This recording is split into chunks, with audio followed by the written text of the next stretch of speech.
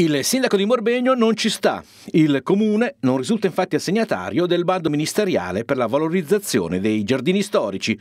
Alberto Gavazzi, smaltita la prima delusione, ora chiede spiegazioni al Ministero dei Beni Culturali. Sindaco Alberto Gavazzi, ben ritrovato. Oggi ci occupiamo del comune di Morbegno. C'è una certa eh, delusione a Morbegno per quanto riguarda eh, l'assegnazione del bando ministeriale per i giardini storici che non ha incluso appunto il giardino del Palazzo Malacrida. Ecco, vogliamo parlarne, Sindaco?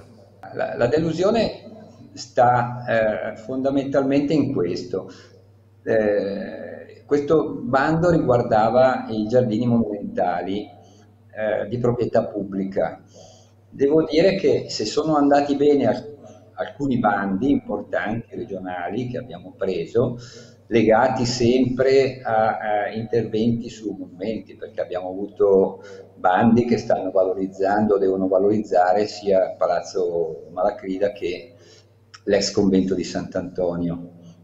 In questo caso eh, era specificamente legato eh, il bando ai giardini monumentali di proprietà pubblica.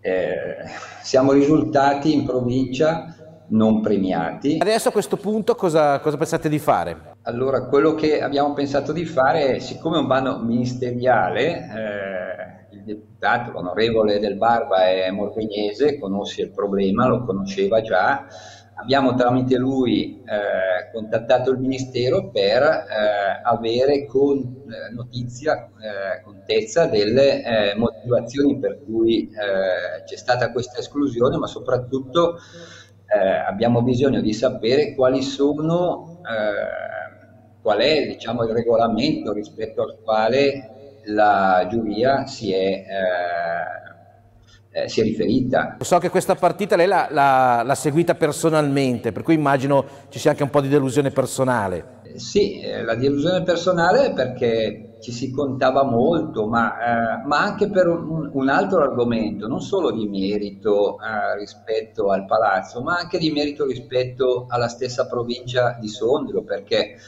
eh, tra i giardini monumentali di proprietà pubblica eh, mi pare di poter dire che ci sono tre palazzi, no? c'è Vertemate, c'è Teglio con Palazzo Vesta e mancava Morbegno secondo me. Il fatto di non aver neanche considerato un uh, intervento sulla provincia di Sondrio lo vedo, uh, la vedo una decisione uh, particolarmente negativa nei confronti della provincia di Sondrio, non solo del comune di Morbegno. La ringraziamo del suo intervento, è stato chiarissimo, naturalmente seguiremo ancora l'evolversi della vicenda e cercheremo di capire perché il Palazzo Manacrida è rimasto escluso da questa partita.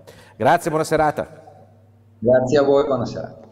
Un vero peccato dunque, perché il giardino monumentale di Palazzo Malacrida a Morbegno è un vero gioiello, ma avrebbe bisogno di un intervento importante.